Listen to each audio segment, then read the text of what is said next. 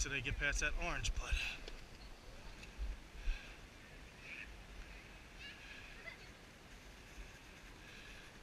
put your feet kind of more in the center. Yeah. There you go. Good. Okay.